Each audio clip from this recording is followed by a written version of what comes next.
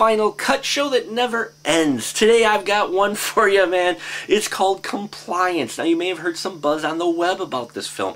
It's basically about true event that happened at a fast food restaurant where a manager who's stressed during the very busy time gets a call by someone who says they're a police officer and they convince her that one of her employees, a young attractive girl, had stolen from a customer and they get the manager to get the girl to come to the back room. They get her to get strip searched and then when the manager has to leave she has to have someone else watch the girl as the police says oh we do have officers coming and each person that comes in the room he tries to convince them to do things that just are wrong okay? Oh man, and, you watch these events unfold and it makes you feel really uncomfortable. It, this movie is proof you don't have to have lots of blood and guts to be a horror movie, okay? This is the events that happen in this are horrific, especially when you learn that what is being portrayed in film is about 99% accurate to what happened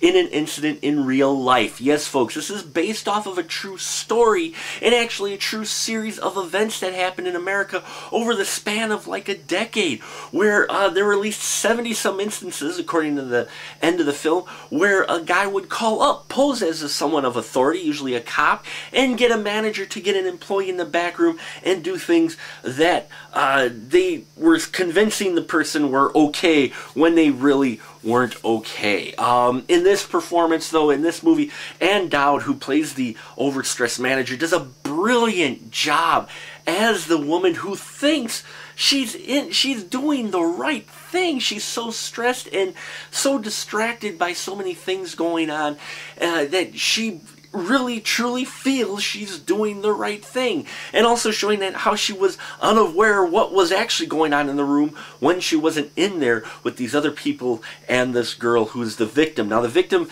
uh, is played by Dreama Walker beautifully. It was a very I would say this is a very strong role for her but also uh, you know a very controversial and risky role for her because she keeps herself fairly exposed.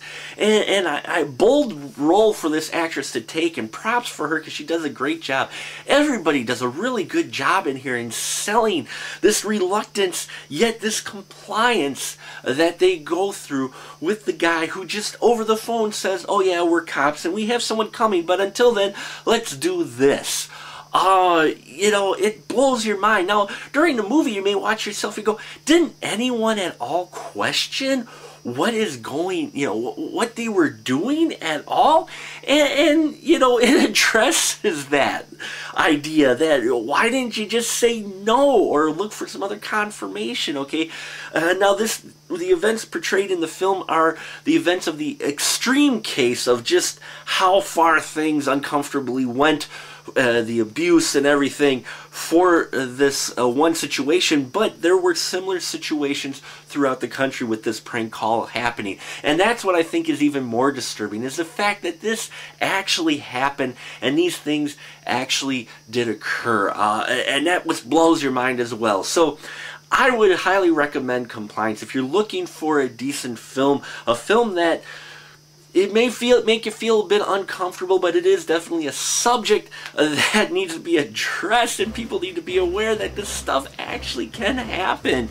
Uh, I loved all the performances by everybody involved, and I really recommend it to anyone who's a fan of independent cinema and uh, who's looking for a, a film that shows you don't need a lot of a lot of effects or a lot of gore to still create a horrific film in a good way. It's not horrific like bad, it's horrific as in, oh my god. Okay, just want to clear that up. and that'll about do it for us here at the Final Cut, folks. Till next time, keep